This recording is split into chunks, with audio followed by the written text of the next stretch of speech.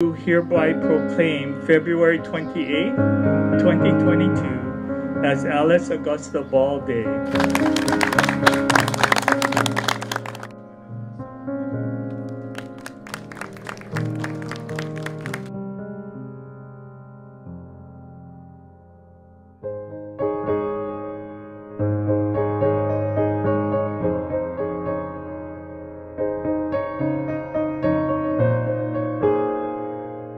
Alice Ball was one of the most remarkable um, members of the UH community.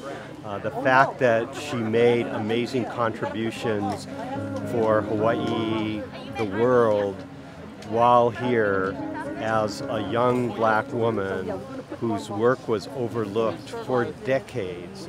Um, today it was just an opportunity to try to begin to make that right. And I think that it's important for current and future uh, students, especially black students, to be connected to Alice's legacy of educational excellence at the University of Hawaii at Manoa.